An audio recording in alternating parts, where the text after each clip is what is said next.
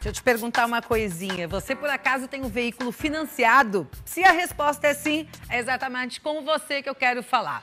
As suas parcelas estão atrasadas, o banco está te ligando e você não sabe mais o que fazer, ou você até está com as parcelas do seu financiamento em dia, mas a sensação é que você comprou um carro e está pagando três. Então fica tranquilo que agora eu, agora eu vou te apresentar a Recalcula. Ela é uma empresa especializada em soluções de acordos extrajudiciais. Funciona assim. A dívida é toda analisada pela equipe da Recalcula. Eu vou até contar para vocês que tem cliente que consegue uma redução de até 70%. Isso mesmo, até 70% de redução do valor que você está pagando no financiamento do seu veículo. Isso vale para carro, vale para moto, vale para caminhão. Muito legal, né? Então faça agora o seu cadastro no site da Recalcula, que é recalculasc.com.br, que aí as equipes vão entrar em contato com você. E atenção, Joinville, que em breve tem mais uma unidade da Recalcula chegando por aí, viu? Recalcula, negocia suas dívidas da melhor maneira. Vamos aproveitar para atualizar a situação do coronavírus em Santa Catarina. De acordo com o último boletim do governo do estado, hoje nós temos aí o número de 236.224 casos de pessoas que testaram positivo para a doença, sendo que 225.280 são as pessoas que já estão curadas. 7.968 pessoas que seguem fazendo o tratamento, ou seja, com o vírus ativo.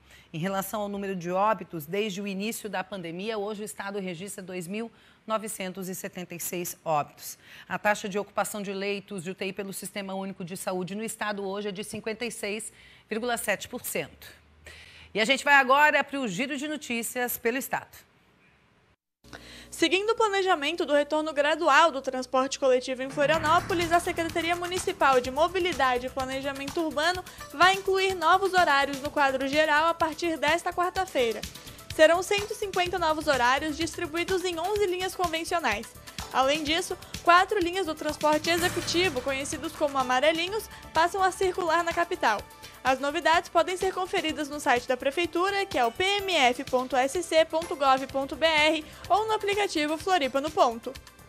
A acusada de matar a amiga grávida de 24 anos e roubar a bebê da barriga da vítima em Canelinha, na Grande Florianópolis, fará um exame de sanidade mental nesta quinta-feira. O teste será feito no Instituto Geral de Perícias de Brusque, no Vale do Itajaí. A mulher de 26 anos foi presa um dia após o crime e confessou o assassinato. O pedido para o teste foi solicitado em 28 de agosto pela antiga defesa da acusada. No texto, foi pleitado a instauração de incidente de sanidade mental por conta de histórico de abortos recorrentes da mulher. O documento que liberou o exame foi assinado pelo juiz Luiz Fernando Pereira de Oliveira, da comarca de Tijucas, no dia 14 de setembro. Duas mulheres e dois guardas municipais foram atacados por abelhas próximo à Ponte Ercílio Luz na tarde desta segunda-feira em Florianópolis. Ambulâncias foram acionadas e as mulheres foram levadas ao hospital. A guarda estava orientando o trânsito na cabeceira continental da ponte, no bairro Estreito, quando foi acionada. Segundo a Guarda Municipal, seria um enxame que estava de passagem. As quatro pessoas picadas foram atendidas e passam bem. O número de picadas que as pessoas que estavam no local receberam não foi informado.